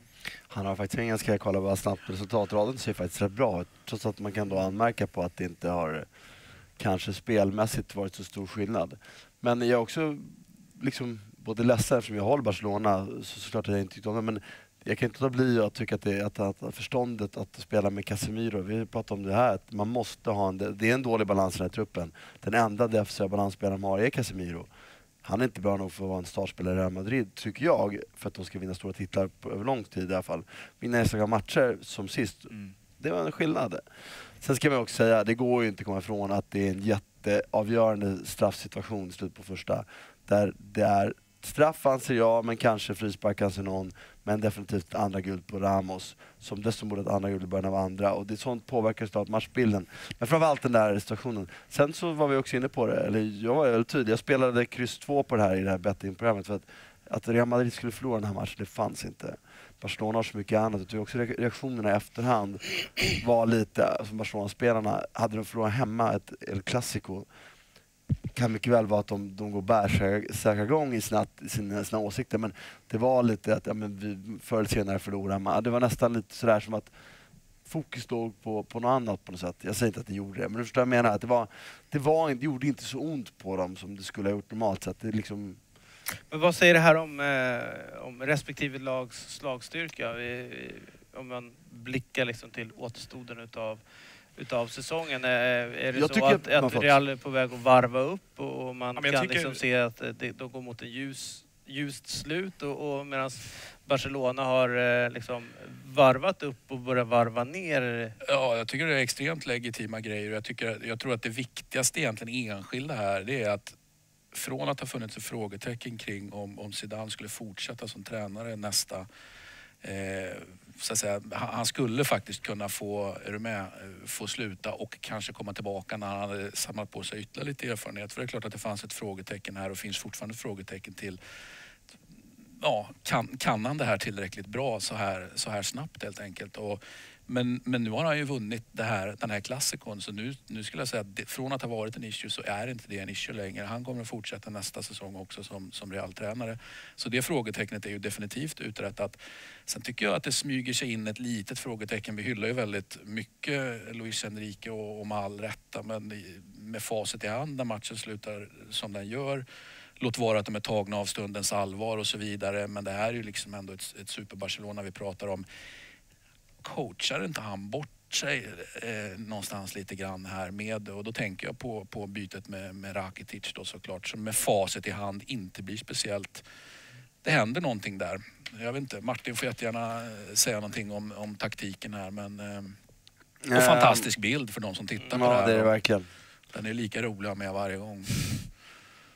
Ja, jag tycker att just bytet av Rakitic också var något överraskande, men han ville ju twista lite offensivare och tappa lite balans och det blev ju fel i längden men det var också så de, de här omställningslägena som Real Madrid har i slutet, de gör ju faktiskt 2-1 innan som är fullt godkänt. Ja, flera lägen. Alltså, men det är ju för att Barcelona, där kunde man argumenterat för att en eh, Luis Enrique-tränare, som hade det varit Guardiola så hade bytet varit helt logiskt. Då hade kanske inte ens Rakitic startat och då hade han velat ta den här offensiva balansen från början. Men Luis Enrique, där tycker jag gamlar lite väl mycket. Han kunde ha hållit kvar och så nöjt sig med ett kryss. Faktiskt. Men nu gick ju de för att vinna verkligen och då öppnade de upp sig på ett sätt som Real Madrid har nytta av. Men får... var, det helt, var det helt fel tänkt? För man tänker sig om de hade vunnit så hade de verkligen dödat eh, Reals säsong i mm. ligan. Ja. Fullständigt. Och fått iväg Zidane då eventuellt till exempel. Men vid, men vid en förlust så har de ju fortfarande ett, om man säger så här, att ett jävligt gynnsamt utläge, utgångsläge. Det som jo. är kvar liksom in. Det märkliga nu är ju att de har ju, det är sex poäng till Atletico och det är Sociedad nästa helg tror jag. Och senaste åren så har de haft svårt för Sociedad. De har haft svårt att möta Sociedad ganska länge trots att de har coachats av, eller trots, nu har de ju coachats av David Moyes. Mm. Och då blir det lite svårare under perioden. Ja. Eh, nej men eh, för, för Barcelonas del så, men jag menar jag, jag, skulle inte vara så orolig ändå som Martin säger. Den här matchen, när den kom och så, jag, den analysen tycker jag känns ganska, känns ganska rimlig. I Reals fall däremot, så jag omvärderar nog dem i Champions League också för de visar någonting här, eh, en mental styrka framförallt. Vi var inne på för några avsnitt sen, ängsligheten runt den här klubben som lätt kan liksom växa sig extremt stor och spelare i det här laget som kanske hela tiden känns lite frustrerade. Ronaldo är en av dem, en annan är, kan vara Karim Benzema som jag haft både det ena och andra att tänka på. De två, sättet som de tar sig ur den här situationen den här matchen och vinner den och eh, går för det, fortsätter gå för det. De missar chanser, de går inte ner sig på grund av det utan de, de ligger på till slut. Någonstans så tycker jag att det visar på mental styrka och att Zidane vinner en, en match som är liksom, som en isolerad händelse. Det såg lite darrigt ut mot Roma, de förlorade hemma mot Atletico Madrid. Det har varit en och annan grej där man tänker att Zidanes liksom, mm. elddop inte riktigt funkar och eh, här gjorde det det. Så det, det, det är Men... någonstans ett, ett viktigt svar för Real säsong jag tror att även med Champions League, öga på Champions League då, så jag omvärderar dem lite grann där. För jag, bara, alltså, jag tycker det, det är så många saker här nu som jag känner att jag vill bara fundera lite kring. Zidane, om han är kvar eller inte, det tror jag krävs att de eh, kommer före Atletico Madrid i ligan. Det ena. Det andra tror jag att de måste gå minst till semifinal i Champions League. Så det låter, men hade de inte vunnit den här hade det varit, kanske krävts ännu mer. Så det, visst, det var bra för honom prata om, om Zidane vann ju på den här matchen, för det, jag tycker inte att Zidane vann över Luis Enrique, men om man nu vill dra det åt det hållet så var det väl att han var mer defensivt balanserad och liksom Luis chansade än tycker jag, lite onödigt. Jag, tycker bara, jag, säger, jag håller ju med dig, att jag tycker inte det bytet borde ha gjorts. Men jag förklarar varför bytet gjordes, eller vad jag tror är bytets anledning, att man ville satsa på att vinna. Eh, Barcelona möter Atletico Madrid på, på tisdag. Eh, skulle de, det är också en intressant tanke att, att väcka då, skulle de åka ut mot dem, vinna ligan, och, och skulle man, hur skulle man se på Barcelonas säsong då? Åka ut i kvartsfinalen mot Atletico Madrid och vinna ligan. Det är ju fortfarande en ganska bra säsong, men jag är inte säker på att folk som följer Luis Enrique och Barcelona skulle vara nöjda med det. Liksom. Och det, Vad skulle konsekvens kunna bli utav det? nej, Ingenting, det eller? blir en press, nej, det blir ingen konsekvens när Barcelona fungerar inte så, men det blir ju en press på dem som är negativ och den kommer de gå in i nästa säsong med. Liksom. Mm. Så att, eh, men jag, skulle säga, jag tycker också att eh, folk drar så himla stora slutsatser om att Barcelona inte var bra. Inte form. Jag tycker Barcelona var ganska bra. De kan bättre, men de var ganska bra. De möter trots allt Real Madrid. Och även om, om, om det har hävdats här kanske att de inte är bra Real Madrid, så har jag hela tiden sagt att det här laget kan vinna Champions League. Höjden finns där. Så att enstaka matcher är fortfarande ett sjukt bra lag. Så att, att, vinna, att förlora med 2-1 hemma, en match där faktiskt då finns en viss domarinverkan som påverkar dem negativt. Faktiskt hade man mer chanser i Real Madrid statistiskt sett, och som jag också anser det, och var bra i stora delar av matchen, så tycker inte jag att det är en skandal att förlora. Det är ett klasslag de möter. Mm. Så jag drar inte så stora växlar för det. Jag tror att det är viktigare att de klarar av Atletico Madrid än att de, att de vann den här matchen. Liksom. Marcelo var enastående, bara flika in det. Han var hur bra som helst. Han kan vara det ibland. Skandal är ju, är ju en sak, sym, men symbolik är ju också en, en annan grej. Du Saker och jobbar ting- med symbolik Ja, men symbolik kan ju bli väldigt övertydlig.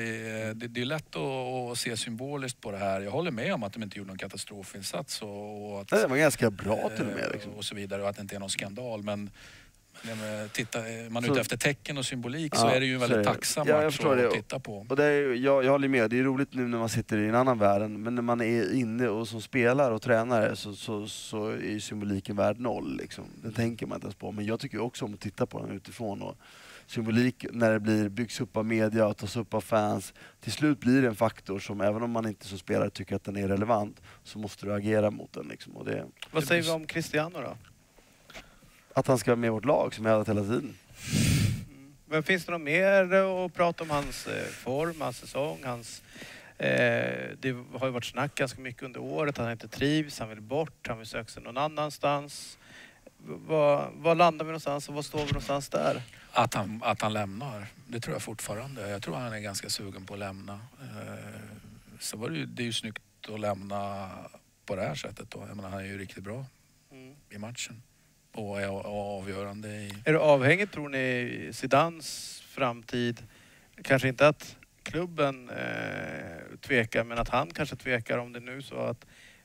Men Real är ju mångt och mycket, om man kokar ner det till en spelare liksom, så är det ju liksom... Det är ju Cristiano. Man Ja. tänker att man ska vinna titlar och, och, och, och det är viktigt och att Zidane då ska vinna titlar i det här laget och att han då ska vinna framförallt den viktiga, alltså han skiter väl med ligatitel till spelar nog inte så stor roll utan det är ju liksom, är Sudan är Zidane kapabel att vinna Champions League? Det tror jag är väldigt viktig bedömning i Cristiano Ronaldo-lägret och eh, man kan ju vinna, alltså, man kan vinna titlar som ny tränare eh, fast kanske inte den allra tyngsta och argumentet emot är ju någonstans Guardiola. Tittar man på på Cruyff själv så, så, som ju egentligen gjorde en identisk kan man ju säga tränarkarriär. Han började ju också bara pang bom körde Ajax med en gång och tog lite kupptitlar. Det vill säga både inhemsk cup och cupvinnarcup men hade ju, fick ju liksom vänta lite på så det normala är ju att om man då argumenterar för att Zidane faktiskt inte är en Guardiola utan att han är han kanske är en Cruyff som tränare så kommer det lik förbannat ta x antal säsonger innan han kan gå för, för den riktigt stora titeln. Och jag tror inte bara ren, han har väl inte han har ju, åldern är fel för att han ska kunna vänta några säsonger till på, att, på, på Champions League-titlar. Men tror, men det, jag tänkte också vara, jag tror att eh, Zidane tänker så här att okej, ska man plocka Real utan eh, Cristiano? Finns, Alltså att det finns den... ja, men det finns säkert liksom... Jag tror inte han är så beroende av, av det. Jag tror han ser andra målsättningar i sitt, sin tid som tränare i Real än att liksom hänga upp det på, på en spelare. Jag tror att han är mer intresserad av att visa att han kan utveckla en spelare och sådär. I Ronaldos fall så tror jag att han inte är på väg att lämna Real bara av sportsliga anledningar utan även för att han närmar sig en tid i karriären där han kanske vill ge, med tanke på hur många projekt han har vid sidan av nu med allt vad det är, parfymer och filmer fram och tillbaka, så är det ett utmärkt läge att göda den kommersiella bilden av sig själv också och genom att gå till en ny klubb och, och någonstans ge sitt personliga varumärke fler dimensioner. Kanske Paris Saint-Germain, vilket det känns som att det passar som hand i handsken till nästa Det är bara jag som tror att... Alltså jag, jag ser inte honom flytta alls. Ja. Jag kan tänka mig honom i Paris Saint-Germain från och med nästa säsong. Ja, jag, tror inte, jag, tror att han, eh, jag tror att han blir kvar. Vi, vi går vidare då, eh, där många tror att eh, resultatet i Italien i helgen eh, innebär att Juventus nu har plockat titeln och det är ju det att Napoli eh, förlorade eh, Stackars. sättet man förlorade på. Framför allt får man ju säga. Det, det hade ju någonstans, eventuellt, det hade inte gått att förlora nu, men, men, men, det är dubbelt så illa när man förlorar på det sättet som man gör. Och jag är, kan Mot säga, ett dåligt lag, om jag ursäkta jag uttrycker det så. Odinese. Ja. Ja. Spelar ju Odinese så att säga, ganska bra, framförallt för att vara säsongens Odinese. Så, att, Jo men eh, alltså det är, ju- om man har följt dem Ja. under året så är det ju... så är, har det de blandat och det är gett. inte så att, Ja, och de har, de har väl mest blandat och, och, och givit. Men nu har o, Nu har de ju en gammal Eurotalk-gäst på tränarbänken så att, eh, det är inte så konstigt att det går bra, eller hur? Det vill säga, det kan kan, det, kan ju som tränar. Parentes. Men det är ju ingen parentes det gäst sättet som eh, han pratgästade. Ja det gjorde han ja, Ja, precis. ja. Och du satt Han och har ett surrade rykte om sig spe- tre spelare som haft honom eh, väldigt, väldigt argsint. Ja, det ser bra. Hot om vedergällning. Ja, men det är kortsiktigt är det bra. Men du, varför kan vi inte ringa upp honom igen då? Ja, det kan vi säkert göra. Inte det trevligt? Eh, Det kan säkert vara trevligt. Säkert och kan, du är väldigt defensiv. Nej, jag, jag bara... Exkluderande. Ja. Jag tror att han har arslet fullt med och att- exkluderande. Så var det Jag tror han har arslet fullt med att rädda kvar. Det var ju, han, han var ju fantastisk en gång i tiden eventuellt fortfarande. Han kunde ju rädda kvar vad som helst i högsta serien. Han hade ju typ tre, fyra raka sådana här omöjliga uppdrag som han faktiskt satte. Så att det, här är, det här är rätt häftigt att se. Ingen tränare att bygga på. Men snackisen, snackisen här, eller var snackis, vilket vedervärdigt ord. Jag använder den här typen av ord. Eh, Det man måste prata Du har om blivit här. expressifierad Ja, min vän. fan. Ja, det- Välkommen till Nej. Expressen säger Noah. Ska här ska- kör vi snackisar. Nej, det tror jag här inte. Det drar tror vi jag på, inte. vilken snackis ska vi dra på idag? Vi drar på det som Christian kommer säga nu. Men jag älskar ju att prata om det här med dom, domar, eh, domarens insats och fotbollssystemets eh, hantering av saker och ting. Man ser till att vissa saker kan hända. Och nu är ju snacket i full gång igen här då i, i Napoliland. Det vill säga att det är domarinsatsen som är i fokus väldigt mycket.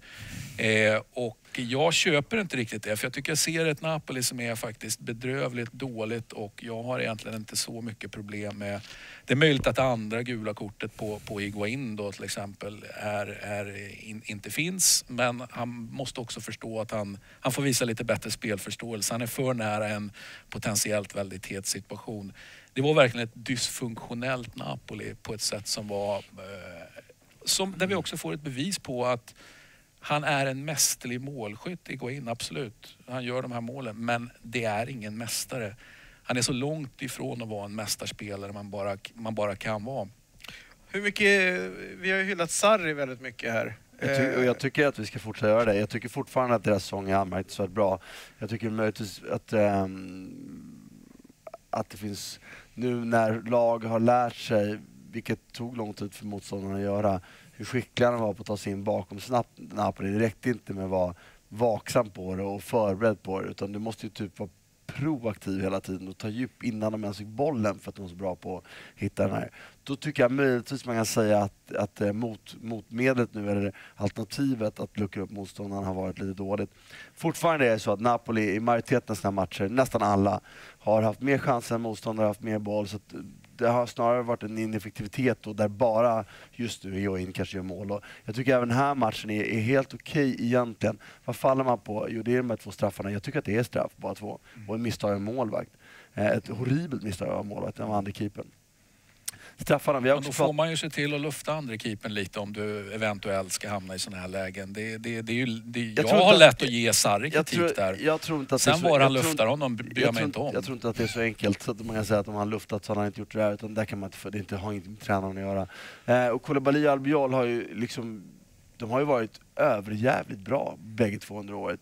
Och även om jag inte har, jag kunde inte alls acceptera att så många eh, faktiskt Napoli-vänner eller folk som har Napoli eller folk för italiensk fotboll sågade dem så hårt förra året. För de fattade inte grundproblemet med balansfelet och att de blev utsatta.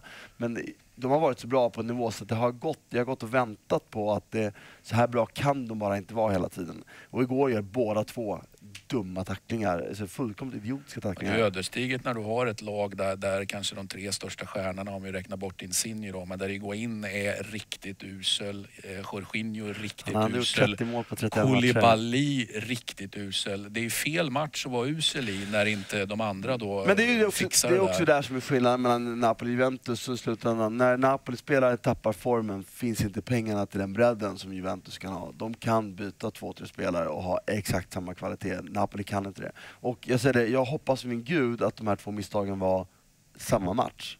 Att det inte är mer. I sådana fall är det ju rätt match de gjorde det i. Det är inte kört. Det, det, jag tror, Klart det är kört. det är klart att det inte är kört. Det, jag trodde inte att de skulle vinna ändå, innan den här matchen heller. Men det är klart att det inte är kört. Juventus kommer tappa poäng någon match här snart, för det är logiken i det. De har gått lite för bra. Jag tror att Juventus vinner ändå i slutändan, men kört inte. Men nu får man ju passa lite för Roma också. Det, det tycker jag är en intressant grej. Juventus 20 segrar, 1 kryss, 0 förluster på senaste 21. Mm. Mm. Det, är så, det är så det är när man varvar igång lite, lite långsamt. Och de var riktigt bra, Bayern München, faktiskt. jävligt. Eh, eh, apropå eh, körda ligor och sådana saker. Eh, man kan ju argumentera för att den brittiska ligan är eh, är körd nu, eller engelska ligan ska vi säga. Eh, och eh, jag satt med, räknade igenom lite grann vad som krävs för att de andra lagen ska kunna komma ikapp och liksom vilka spelschema och sådär. Alltså det krävs inte många bra prestationer, alltså, tre matcher till kanske för Leicester att Sen är vinna. det klart. Sen är det klart. Eh, trots att då man brukar prata om att Arsenal har en, en match i handen, men ja, de ska, gå, de ska verkligen gå rent, resten som är De kvar. är ändå efter Spurs som har Eh, vinner. ja, och, och Spurs har de eh, då eh, en poäng före tror jag om de vinner sin match i handen då. Eh, så att Leicester då, ytterligare då en 1-0-seger. Jag tror att det kan det vara femte 1-0-segern på senaste sex matcherna. Liknande. det är det. Men om man ser det sett över hela säsongen så är det väl än mer 1-0-segrar. Eh, och eh, som en gammal George Graham-fantast eh, och älskare så måste det vara ljuv musik i dina öron att, att de vinner de här matcherna med 1-0. Och vad säger det om ett lag? Att, att vara så 1-0 säkra. Det säger att de har ett väldigt tryggt defensivt grundspel, att de inte släpper till en skit och sen så har de några spelare med en del av kvaliteten. Han är ju eh, taktiskt skicklig där nere, det är ju bara så. Sen han, eh, jag pratade med folk som har väldigt bra Leicester-insyn här i helgen. Vad sa du. Men som har väldigt bra Leicester-insyn i. Leicester, som jobbar lite med Leicester. Så, eh, ändå, så att han ärvde ju också ett bra lag, men att han har varit väldigt skicklig både i sitt ledarskap, den taktiska fingertoppskänslan och den fingertoppskänsla med personerna så här, som, som har gjort att, att de verkligen, eh, alltså, det, allt inte, faller inte på honom, men de är verkligen imponerade av honom. Trots en rätt knagglig engelska. Så. Man kan ju säga, eh, jag delar ju delvis uppfattningen att han har ärvt ett bra lag. Eh, Alltså uppryckningen började egentligen redan vårsäsongen. nu, för ett år sedan. Ja, eh, Nigel Pearson heter Mm. han va, som tog över. Exakt. Och körde, jag tror att... De Var det så tid- sent förra de året? tio De se- låg ja. näst sist. De var, Var det sju, sex omgångar var de var va? sju poäng från säker mark så här Mm. dags. Och, och efter det så gick de ju mer eller mindre Rent rent. ja, det gjorde något, något kryss tror jag kan vara. Så de vann sju av de åtta sista. Så de har redan börjat klättra så här dags. Men eh, sen blev det ju beef under sommaren med, med någonting med hans son var indragen i någonting. och- Ja, han bråkade med klubbledningen av olika anledningar. Sen åkte hans son till Thailand och spelade in en någon fil- film med väldigt rasistiska inslag. Så Eh, så han fick sparken. Då Så fick, han han gå också. Men med det sagt så var det ändå att ja, ett bra lag han ärvt, men ett bra lag som faktiskt alla tippade någonstans mitten, Ja, nedre nej. halvan. Alltså Mm. det här är ju någonting annat. Men det här Robert Hoth som ändå någonstans, eh, han är från Tyskland men fostrades i Chelsea och skulle typ bli den nya. Han blev ju ingenting där och skickades iväg. Alltså det är ju sådana typer av spelare som är i laget. Majoriteten av spelarna i det här laget har ju spelat i Premier League ganska länge utan att vara i närheten av toppen. Nej. Mark Albrighton är en omskolad högerytter till vänsterytter som hade dalat ner i Championship. Danny Simpson fick inget kontrakt med Newcastle och fick börja om i QPR i Championship. Hoot har ju släppts av Stoke. Mm. Wes Morgan har tillbringat majoriteten av sin karriär i Championship. Det är liksom, och Christian Fuchs var en free transfer som inte dög för Schalke. Så jag menar, det är liksom- Återigen som har liksom gått från lägre divisioner. Ja, eh, Att, ja. att, att då jag menar att han har haft ett jättebra lag, som, det, det går inte riktigt tycker jag. Men, eh, sen, men- så, sen så mm. från det laget förra året som också spelade 30 omgångar och såg ut att vara helt hjälplöst i Premier League. Eh, så är det ju i princip bara en N'Golo Kanté som har tillkommit. Och Asaki en värvning från tyska nedre halvan. Och när liksom. vi pratar om honom, att bara, för det är ingen parentes som har tillkommit. Det är ju en klassspelare som har Ja, tillkommit. Helt lysande.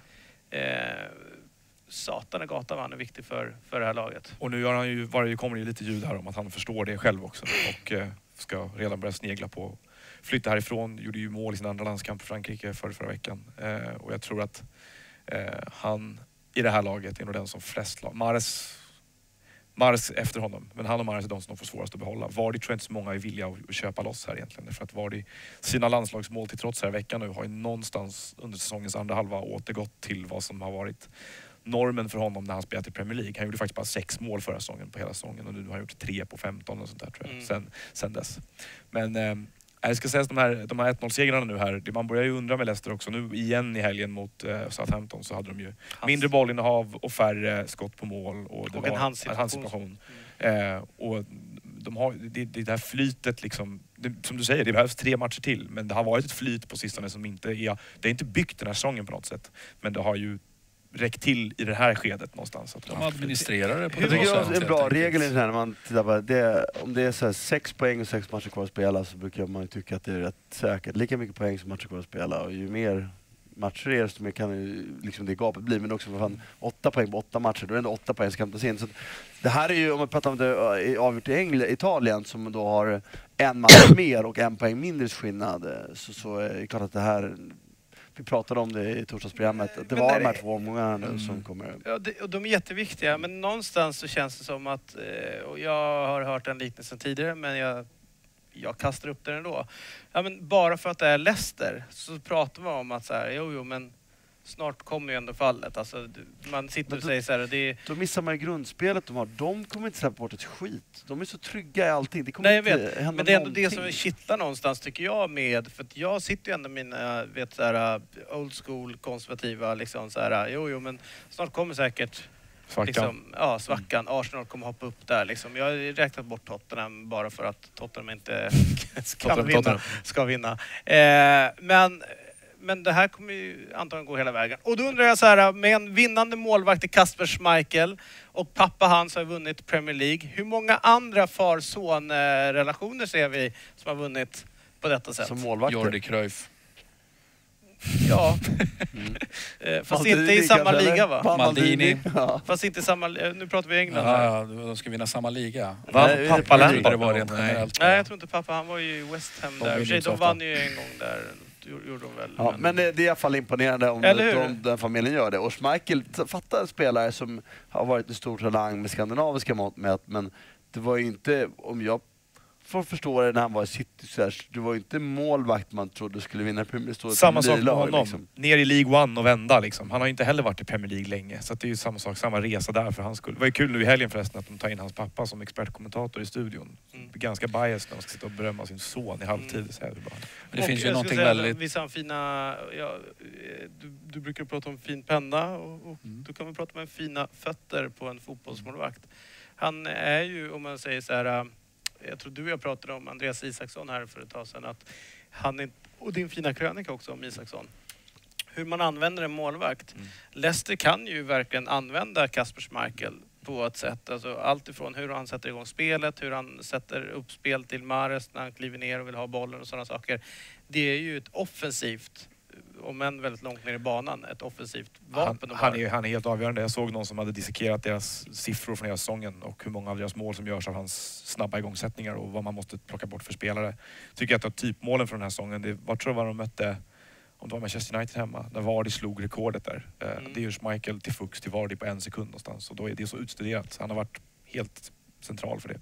Mm. En kul grej till. om Ranieri får vinna, det vore så fint ju. Det vore sjukt, men vi måste ändå... Jag, jag vill, det du börjar den här diskussionen med egentligen, att man tänker på att det är ju Leicester. Det it ain't over yet på något sätt. Det här spelar roll för att, för att det är Leicester och för att Leicester inte är vana vid det här. Ja, hur mycket Visst, kan det smyga in hos dem själva då? ja. Också? Ja, men det är klart Med- att det kommer att spela roll. De kommer, kommer vara grundspel, mindre entusiastiska. Och, och det är klart att det är bra i det här fallet att de har ett tryggt grundspel. Det, det, Ja, det, det- förstår jag också, annars hade det varit kört. Men, Men eh, säg att de skulle avsluta, nu vet inte jag vad de har för spelschema, säg att de, har tre avslutar, svåra matcher på slutet. och de avslutar med tre förluster. Jag skulle inte vara ett dugg förvånad De om ju de Everton, faktiskt eh, Chelsea Chelsea och dör är det, där. Visst är det City eller United de har? eh, någonting någon utav de där. Ja. Men Ja. är kul grej också med... På Sen har de West Ham hemma och sen Swansea någon match. West Ham hemma är inte lätt heller. Nej. Swansea är bättre nu också. Eh, men eh, är en kul grej till med West Morgan i helgen. Var Mm. Han har inte gjort mål på hela året ju. Och Men nu så gjorde han det. mål. Eh, Harry Redknapp skriver en kolumn i Telegraph tror jag någonting Mm. veckor och beklagade sig så att han har haft sån förbannad otur Morgan som inte har gjort en landskamp för England den här säsongen. Men då missar han att han gjort 25 för Jamaica Mm. sen rätt länge tillbaka. Det är Väldigt kul. Redknapps nu sportchef i Derby. Ja, eh, eh, det är ju... Annars, det är ju eh, men det är ex, extra roligt då apropå otur. sportchefen. För jag menar! Ja. Hela den här diskussionen om Leicester och alla de här spelarödena som det är, den ger ju ett enormt hopp tycker jag ändå. För den visar hur många Absolut. dukt, fina fotbollsspelare som finns där ute. Och eh, det har vi pratat många gånger om, det här att du kan rehabilitera vilken spelare som helst. Och, och det är ju faktiskt Leicester ett, ett, Mm. ett, ett levande bevis för. Och det är, är du bara är du påläst, har koll på dina grejer, kan ratta, eh, så har du framgång helt enkelt. Och jag tycker i er tidning så eh, är det ganska intressant också därför att där sitter ju en eh, TV-kritiker som skriver om det som händer i TV och recenserar de som är där om Martin är bra eller dålig på det han gör eller Vem är det? om jag är bra eller dålig. Anders Björkman heter han. Mhm. Och han satt ju hemma då en söndag och tryckte och kollade på Mästarnas Mästare och tyckte det var helt... Eh, och- satt och beskrev Peter Gide och hans insats i Ja, programmet det. eh, rakt igenom. Eh, och, eh, fast det var ju Niklas som var med Martin, Mhm. innebandyspelaren. Ja, man inte hade koll på. Apropå Harry Redknapp, det är inte helt rätt, eh, lätt när man sitter med sin penna och ska skriva en krönika. Då kan det bli fel på England och Jamaica och Peter och, och, och Niklas i det. Jag tycker ju nog att England och Marca-grejen är ganska mycket grövre fel än... eh, Det är det väl absolut inte. Inte om du har som jobb och, si- och du dessutom ska bedöma ett, ett program som du har sett. Jo, men, eh, Och Peter Gide är en som eh, bara ställer eh, frågor och så har de en, här- en här som de visat med en hyllningsfilm om. Mm. Liksom att ha liksom, tagit upp en sport till, till toppen så är väl... Jag tycker Men att det... Jag det- tycker så här, jag vill vara, kan vi inte lägga det här på det Nej, men här? vadå? Vänta, vänta. Då säger jag så här. Det skulle i och för sig kunna vara så att Harry är storbrittisk och tänker att Jamaica är ju ändå en del av England. Ja, ja. Alltså en del av imperiet. Så det är Rule klart, the waves. Exakt. Så det är klart att han ska lira i landslaget. Ja. Ja, det kanske Björkman också gjorde. det. Det jag är lite mer bekymrad över det är att du, Mästarnas Mästare, är det någonting att ha? Ja, ja. Peter Annars Forsberg- var det ju en väldigt rolig... Peter Forsberg är med. Ja, I couldn't care less faktiskt. Han är svinmäktig. Eh, Ja. en, annan, en annan sak som var rätt rolig i helgen var ju faktiskt, jag tittar inte så mycket, men jag, jag råkade snubbla in i studion i Viasat där man ju, där någon helt plötsligt pratade sanning och det var ju väldigt roligt att höra eh, en annan eh, tidigare gäst eh, konstatera att de här lördagarna kan ju vara ganska torra i Premier League. Och, eh, det vill säga, det var ju Bojan som, som berättade sanningen slapp ur honom någonstans det här. De torra lördagarna. Det var väldigt roligt att se vilken reaktion det fick i, i studion. Bara han tyckte att det var tråkiga lördagar. Absolut. Och det stämdes i, bäck, i rättighetsbäcken ganska snabbt där kan jag säga av en annan eh, före detta gäst. då. Erik? Eh, nej, Erik var inte där. Eller det beror på vilken Erik du menar. ja, Ola Okej. eh, var, var väl inte helt nöjd med den beskrivningen om Ah, de torra eh, Jag, miss, lördagarna. jag missade det. Det var faktiskt väldigt roligt. Det Ja. borde de själva lägga ut som klipp. Jag tror att Tommy, Eller så gör jag vi tror det. Att Tomislav, kan du lägga ut det klippet? eh, vi, vi måste av, börja avrunda och det gör vi med att konstatera att eh, det är ju så, eh, tyvärr har det blivit så att i Rom Eh, det som en gång var en av de finaste matcherna man verkligen kunde gå på eh, och som jag rekommenderar alla jag kände som inte gick på, har varit på fotboll så, så här, gå på derby i Rom. Det är någonting utöver det vanliga. Nu var det 25 000 personer på läktaren tror jag eh, och en ganska avslagen historia. Och det är ju derbymatcher nu som inte alls lever upp till fornstora dagar när det var feststämning och det var en tidig, som alltid vid de här då 12.30 tror jag matchen gick igång. va? 15. 15 till med. Ja, tidig kick-off. Ljust värre i alla Man fall. vill ändå ha liksom de här kvällsmatcherna och liksom så här. Så om man bäddar får man ju ligga. Det är, och det är många som har bäddat ju. och, och ligger där nere höll jag på att säga. Så att, eh, det är dags att, börja, att de börjar ligga med varandra lite mer skulle jag vilja säga och, och fixa jag, lite jag låter kärlek. Jag låter vara sagt om man kunde gjort annorlunda, men jag har också varit på de där derbyna och runt det, alltså krigszonen som har varit några gånger. Det är inte så roligt. Nej. men jag förstår att, att det blir svårt att eh, liksom, politiskt gör något annat. Men det är tråkigt att konstatera och det är tråkigt att konstatera hur fallet för Lazio har blivit i år. Att så, så mycket fina spelare finns i det laget så har fallet så djupt. Men rattar man illa så ska man, så ska man faktiskt, är du med, så och skörda allt det där. Och har man, det finns ju någonting fint i det här. Jag har ju Mm. Ja, suttit du här och, och för vår, eh, försvarat Lotito massor med gånger. Men det finns ju någonting väldigt fint nu när Lotito faktiskt inte har blivit vid sin läst utan har fingrat på precis allt annat. Så att säga, ta makten eller vara instrumentell i att man faktiskt förskansar sig makt i italienska förbundet. Klubbar. hur mycket synpunkter som helst på vilka lag som ska spela i högsta serien och inte och, och, och det kommer ut. Det är klart att han kan ha de synpunkterna, det har alla. Men, men han har liksom inte råd och, och nu håller han på att åka ur Serie B med Salernitana. Det kan jag tycka är tråkigt. Mm, det Eh. Men han håller på att göra det och han underpresterar stenhårt med, med Lazio. Men är det verkligen... man, man måste ju som Lotito fundera på vad, vad, ska, vad gör jag här egentligen? Vad är, vad är prio? Vad är min främsta Den, eh, uppgift? En fråga som många bör ställa sig. Absolut, så är det ju. Jag, bara fråga, jag tycker nämligen att truppen är bra nog. Jag tycker att truppen är bra För nog vad? för, för att Men spela... backlinjen är ju värdelös. Ja men okej, det är skadorna där har ställt till det. Nej, nej vänta. Mm. Bra nog för vad? För att vara ett topp 6 och 5 lag. Ja, ja, men okej. Nummer ja. nummer två i mitten. Men eh, då är frågan så här. Ett, ett, det ett tidigare. lag som är lite grann i moras, som man ändå ser här. Eh, förra årets gigant, får man ändå säga, And Andersson, som spelar Felipe, som du pratade så mycket om. Och, och alla som håller på Lazio var ju överlyckliga när de konstaterade att han kommer fortsätta spela i, i Lazio ytterligare ett år. They should know better. Vad händer med detta lag? Om man säger så att man kan alltid bygga upp. Vi har ju exempel på Leicester. Vilka tror ni kommer lämna detta Lazio? Kommer de, Andersson, eh, kommer de börja Vill behöva bygga nytt? Jag tycker Filip Andersson borde lämna för Lazios skull. Därför att av någon anledning så har han behållit sitt marknadsvärde. Och om det handlar om slapphet bland i brittisk scouting eller vad det är. Men i England skrivs han fortfarande upp som en sorts demon där Mm. nere. Och eh, när det nämns summor på 30-40 miljoner euro för honom och folk inte reagerar så om det nu reflekterar verkligheten också, om det är så att han faktiskt är klar för Manchester United till och för med. Sterling. Ja, Men det var liknande, 50 miljoner va, tror jag. Ja, då tycker jag Så- fortfarande att han är för 30-40 miljoner är klart med prisvärt. Men, lite grann snålheten bedrar visheten här också. För han gjorde ju egentligen precis samma fel och Tito som De Laurentiis gjorde en säsong tidigare. Det vill säga han skulle vänta in den sista eh, så att säga, kvalmatchen i Champions League innan han eventuellt öppnade plånboken lite till. Han ville liksom inte Korkat. spendera någonting innan pengarna liksom satt på, på bankboken. Och Lotito gör ju exakt samma Mm. De fel är här, vilket är ju rätt dråpligt alltså.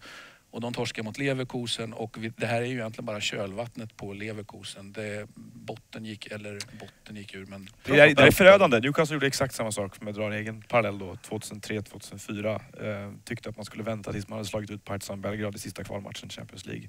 Värvade bara Lee Boyer på free transfer, torskade den och sen dess egentligen har det rämnat. Och Det Lee liksom- Boyer och eh, David Batty var det va som började... Kieran Dyer. Kieran Dyer var Men det. Gareth Barry separerade dem. För alltid tacksam för det.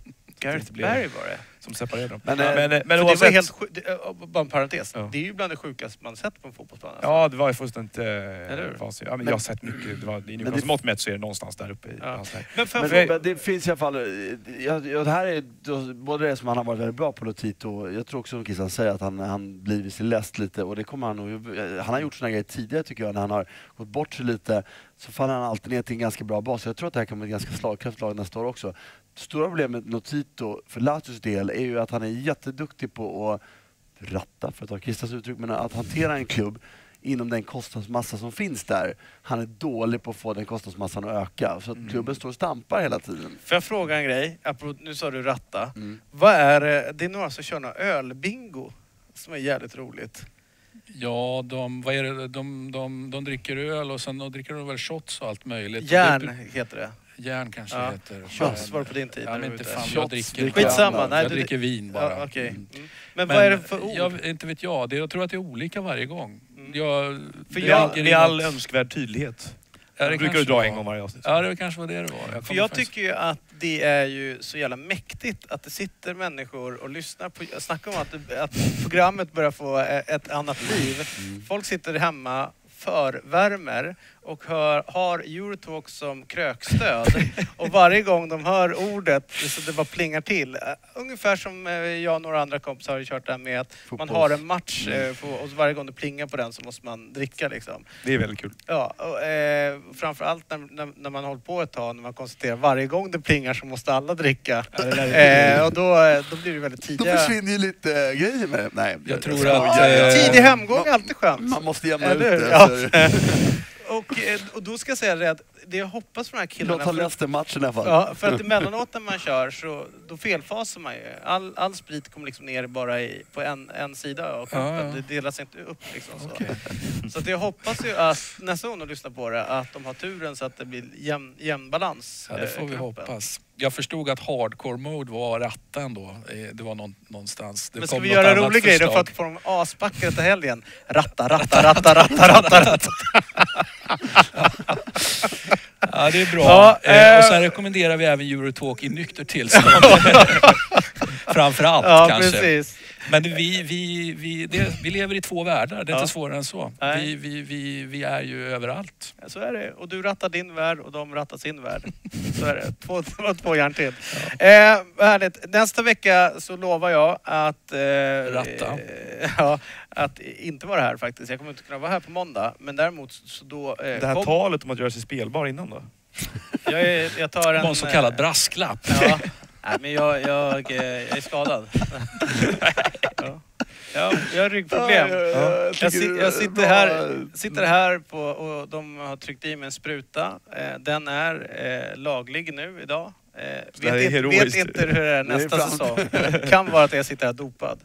Men då kommer det bli Tyskland, så spetsa dina argument. Gärna. och- Ja, jag höll på att säga eh, om du inte är skadad nästa vecka. Ja, det vet vi Nej. inte. Så Såg ni det? Men- Han är tillbaka ju.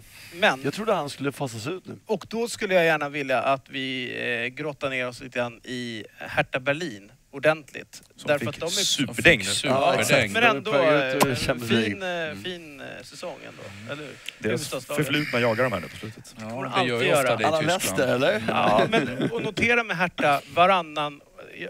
Förra året gick de faktiskt relativt bra. Jag trodde att i år då skulle de ju falla ner. För de kör ju verkligen varannat år. Upp och sen så åker de ur. Och så kommer de upp så går det bra och så åker de ur. Men kanske att de börjar hitta någon, eh, någon nivå här. Det är en Så det tycker ungrare. Ja. Och eh, jättekul, jada jada med rättigheten att han gjort ett hattrick igen. Det pratar vi inte om nu. Eh, tusen tack för att ni, eh, för att ni kom förbi. Det är ju alltid Mm. lika trevligt. Eh, trevligt tack att vara själv. och vi finns på eh, Twitter om ni vill följa oss där. Eh, vi har fanzine.nu. Vi finns på Facebook om ni vill eh, gå in där och kolla. Finns på Youtube, Soundcloud, iTunes. iTunes. Och allt det finns på fanzine.nu. Allting är där. Eh, och eh, om en vecka alltså är Eurotalk tillbaka. Hej då.